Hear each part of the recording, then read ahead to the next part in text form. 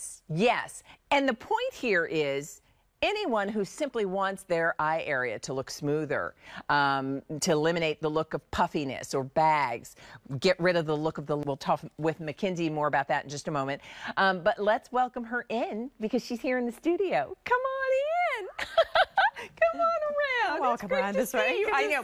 We, we had our big entrance and then we forgot I had to give a table in the back. Oh, it's so good to see you. Hi. Um, I love that your husband was such a good sport. God bless Uh, that man. But, but but to see him and like you know to speed up what what happened basically in 60 seconds we can transform the appearance of our, In our eye areas. 60 seconds. Yeah. This is your cream as well. I love that. It's All right. crazy. Um, so here's what we're going to do because there are two uh, shade options. We're going to put that up on the screen, Yeah.